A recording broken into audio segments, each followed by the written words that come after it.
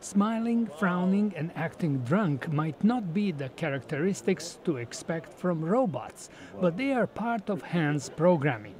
The android is also programmed to engage in simple conversations. Where is to Mumbai? India. Product manager of Hanson Robotics, Grace Copplestone, explains that Han is no ordinary robot. So Han's really exciting because not only can he generate very realistic facial expressions, but he can also interact with the environment around him.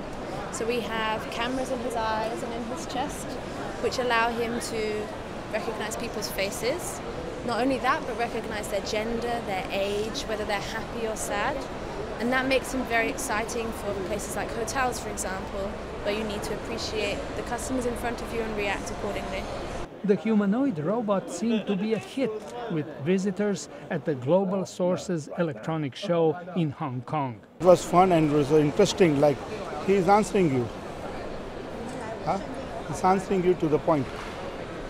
Copplestone is confident that Han will be an asset in many markets, like hospitality, entertainment, and most importantly, healthcare.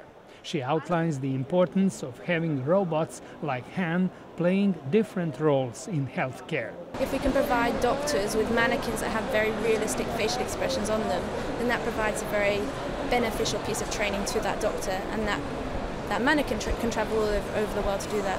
And the other area of, of medical care is, is for the elderly.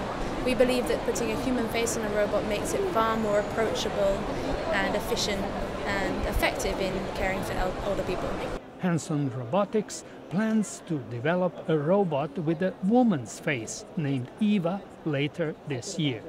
For writer Marveline Dandin, I am George Putic.